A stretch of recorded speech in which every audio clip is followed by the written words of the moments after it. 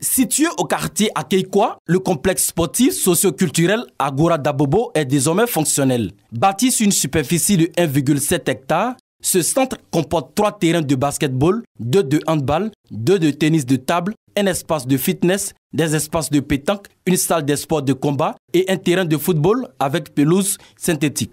Un joyau en plein cœur de cette cité au profit de la jeunesse qui représente 85% de la population de cette commune. Ils vont s'occuper sainement, ces jeunes, en menant des activités sportives et en consolidant la cohésion sociale. La jeunesse d'Abobo avait besoin d'un cadre enchanteur comme celui-là.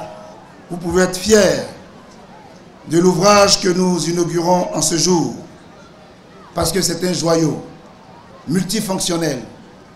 Et c'est bien la volonté du président de la République d'offrir dans la proximité des infrastructures sportives aux populations.